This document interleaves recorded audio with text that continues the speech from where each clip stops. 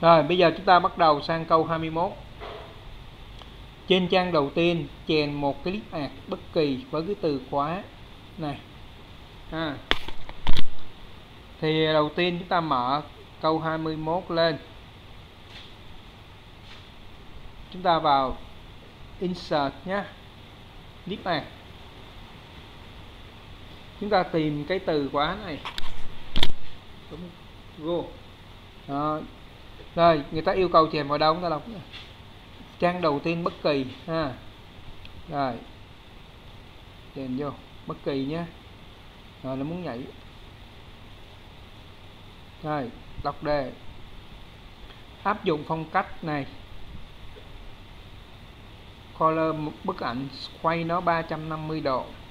Nghĩa là các em sẽ vào trong cái format nè.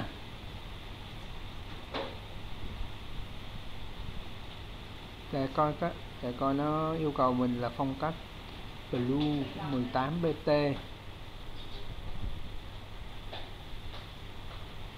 cái này các em nhớ là đây là không phải là phong cách ảnh, nhưng mà không phải là khung ảnh nhé nghĩa là mình không có dùng cái khúc này được, mà mình vào cái glow.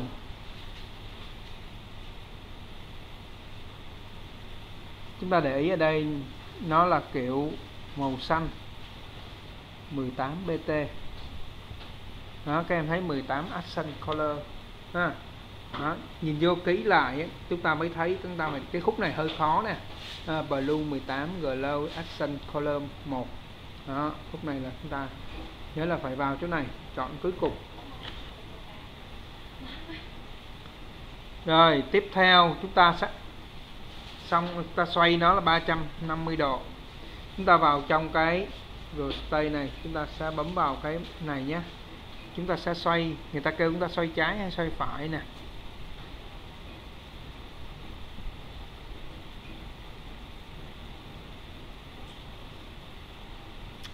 Như thế.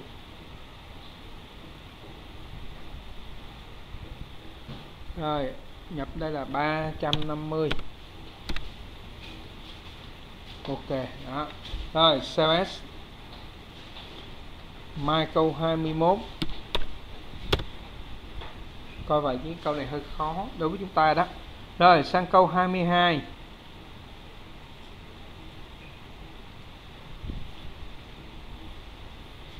trên trang 3 nhé trên trang 3 trên một hộp văn bản mới phong cách là cái này.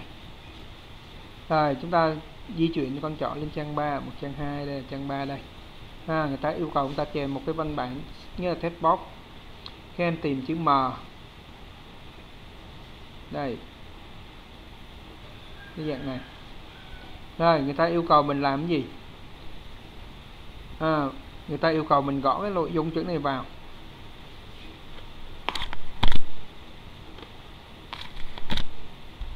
Rồi sau đó người ta lại yêu cầu chúng ta thiết lập cái màu nền hộp văn bản có độ tối là như vậy.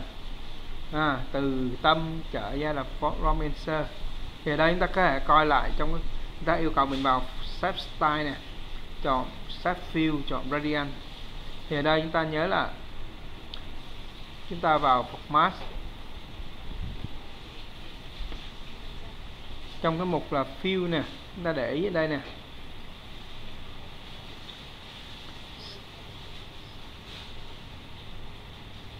Rồi, chọn variant.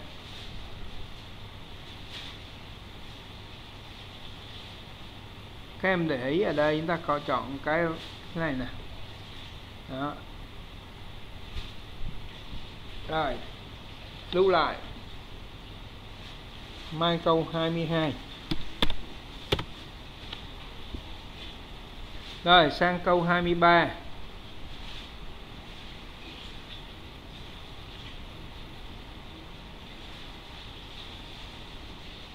Tùy chỉnh Word 2010 sao cho nó không kiểm tra lỗi chính tả hoặc ngữ ngữ pháp.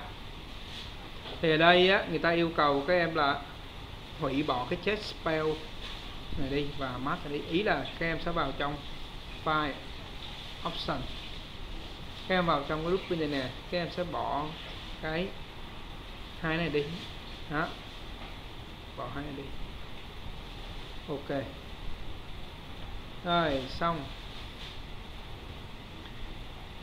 Mai câu 23 sang câu 24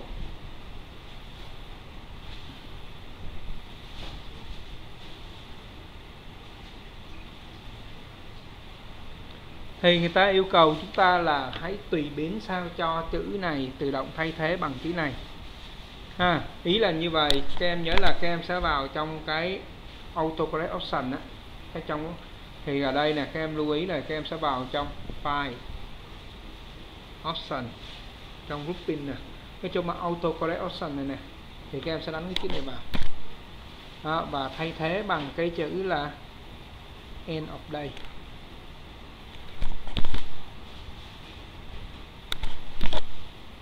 Hết. Ok, đó.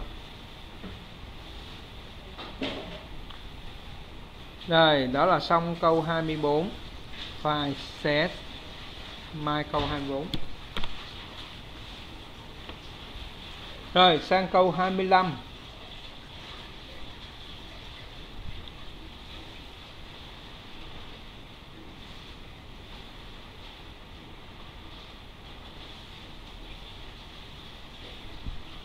chỉ hiển thị các bình luận của cái người có cái tên là như vậy.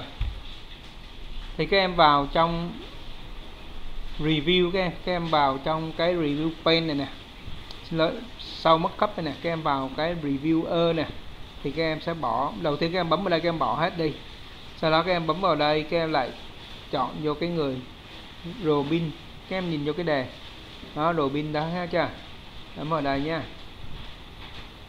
ừ, đánh dấu vô cái này là xong. Đó. Mình đã chỉ hiển thị các em để ý cái đưa con chọn các em thấy cái, cái tên người đó hiện ra đây. Rồi coi còn ý gì không?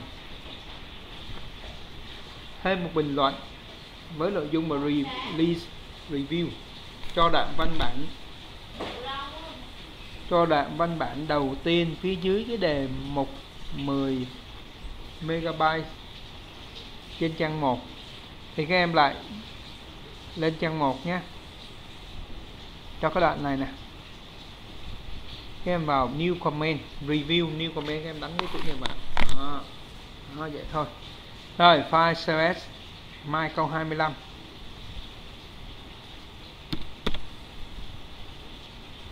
rồi thầy uh, à,